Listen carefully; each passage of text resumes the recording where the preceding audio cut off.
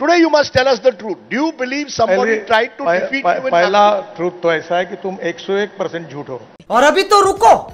Climax अभी बाकी है। आप ये पहला ट्रूथ है। हाँ yes yes I am talking with responsibility और दूसरी बात यह है कौन सा झूठ सा? पूरा जब पूरा बोल रहे हो वो पूरा झूठ है। मतलब औरंगाबाद नहीं गए। सुनो तो पूरा। मेरे तो लग गए। आप जब पूछते हो थोड़ा सुनो। सर सर बट मैं जम्मू कश्मीर में ऑफिशियल भारतीय जनता पार्टी के टूर पर परसों था। Yes yes. कल मैं हरियाणा में था और सुबह बेंगलोर में था कार्यक्रम के लिए।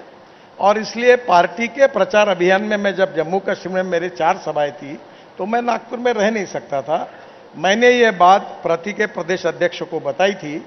पार्टी के अध्यक्ष बावन को ने बताने के बाद में भी तुम्हारे जैसे अनुभवी पत्रकार मुझे ऐसे सवाल क्यों पूछते हैं? अरे बाप रे ये तो धोती खोल रहा है।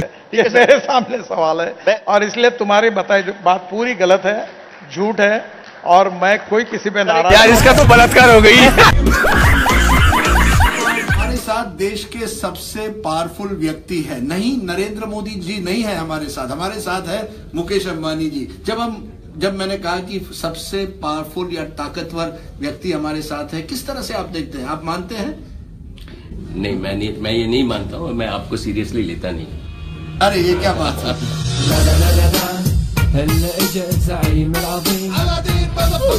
Let me complete. You, you don't have this habit. I'm sorry to tell you and remind you, you are interviewing the former president. Please have the necessary courtesy. Yes, sir. Don't interrupt. I'm sorry to No, no, tell you. यही नहीं अभी और सुनिए I am not eager to appear on the screen. Sir. No, no, I You just have want to understand. invited me.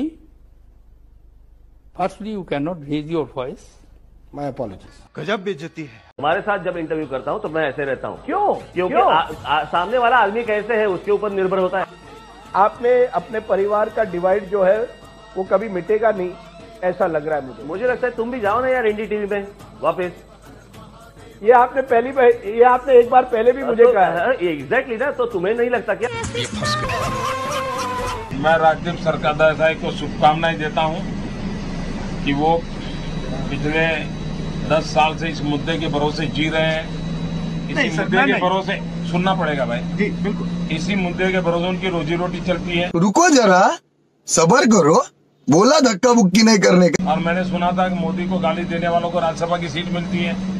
Modi को गाली देने वालों को पद्मश्री मिलता है पद्म भूषण मिलता है तो मेरी राजदीप सरदेसाई को शुभकामना है कि आप अपना ये अभियान जारी रखिए और आप भी ऐसे मित्रों की मदद से राज्यसभा में पहुँच जाइए। आप भी ऐसे मित्रों की मदद से पद्मश्री पद्म भूषण कुछ प्राप्त कीजिए। मेरी आपको बहुत शुभकामनाएँ।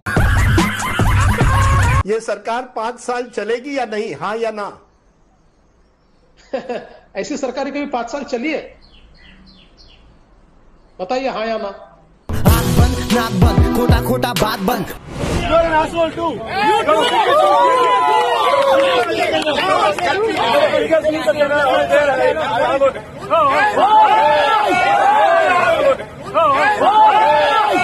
बातों से अपने मुकरता नहीं मरने से मैं कभी डरता नहीं।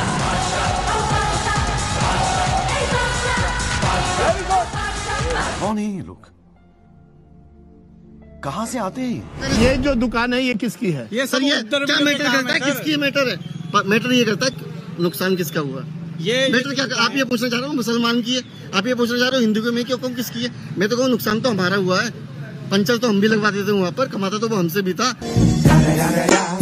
Do you believe that we have become a more intolerant society?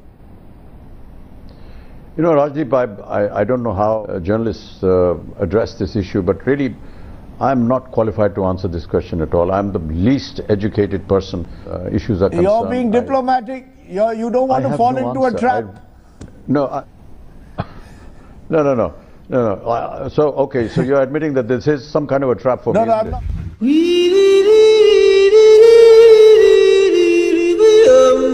जिस दिन वो मेरे से पूछेगा कि अरविंद, तुम लोगों ने दिल्ली में बिजली 24 घंटे कैसे कर दी? इट इज़ अ और फ्री में दे रहे हो। मुझे बड़ी खुशी होगी बता के। अभी पिछले एक घंटे से हम बेकार की बातें कर रहे हैं। इससे देश को क्या लेना देना? जनता को कोई लेना देना नहीं है इस इंटरव्यू से।